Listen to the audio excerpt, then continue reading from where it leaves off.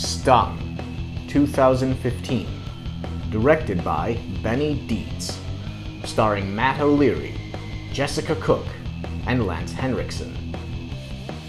The guests and catering staff at a garden party come under attack by mutant wasps, whose deadly stings lay eggs in the guests and cause them to birth killer human-sized wasps.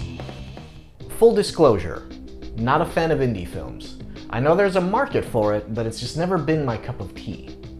The leads are your typical quirky indie movie characters who smoke weed and swear, and might not necessarily be as charming as they're intended to be if you're not a fan of indie films.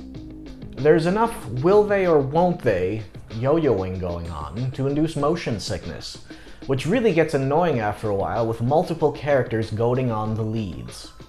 Sidney Perch looks and acts like a Fred Armisen character, which is apparently a prerequisite from IFC's distribution company.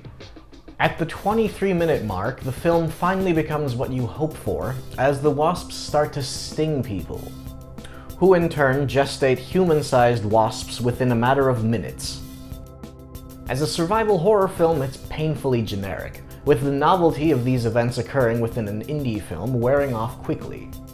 The effects aren't anything to write home about either, unfortunately, with no noteworthy standouts in practical or digital effects or noteworthy creature designs, no creative kills.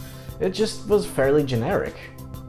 Lance Henriksen shows up, he gives a more enthused performance than he did in Antibody, but not by that much. A Return to Living Dead reference is made, trioxin fertilizer. Doesn't go any further than that though. The director said that he was influenced by B-movies like Them, and more recent films like Slither. The problem with this claim is the fact that this film doesn't really seem to invest in the pulpy B-movie premise that it's presenting, down to a lack of investment in the origin of the mutations. Verdict? Meh.